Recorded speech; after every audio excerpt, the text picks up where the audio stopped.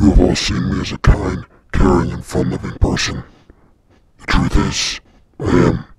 But right now, I'm your worst nightmare. You have all been selected to partake in my game.